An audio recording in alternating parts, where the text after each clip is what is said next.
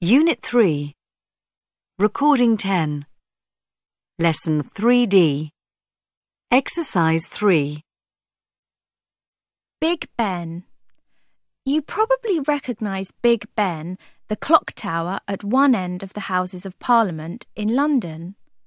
It's London's most famous monument. But perhaps you don't know Big Ben's real name, the Elizabeth Tower.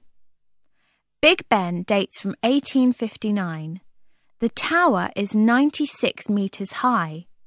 There are 334 stairs in it, but tourists can't go inside the tower or climb to the top. There are four clock faces, and each face is 7 metres in diameter. The minute hands are 4.2 metres long and weigh about 100 kilos. The bell weighs about 13,760 kilos. Big Ben looks amazing at night because there are lights on the clock faces. On the 31st of December every year, New Year's Eve, TV stations in the UK show pictures of Big Ben at midnight. And all over the country, people listen to the 12 chimes of the bell when the old year ends. The Statue of Liberty.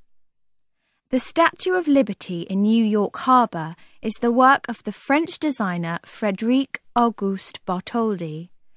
This present from the people of France to the USA in 1886 is the most famous monument in the USA.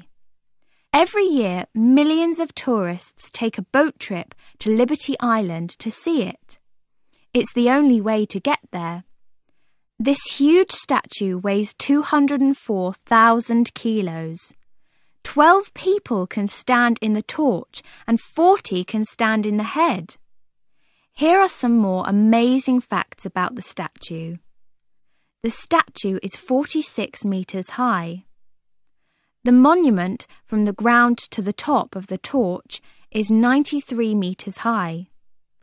The left eye is 0.76 metres wide. The nose is 1.48 metres long. The mouth is 0.91 metres wide. The right arm is 12.8 metres long.